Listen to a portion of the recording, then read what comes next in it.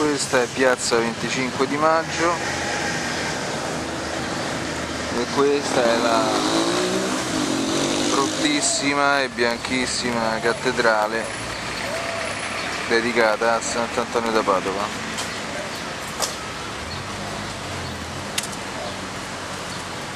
Quella è una persona intelligente vabbè questa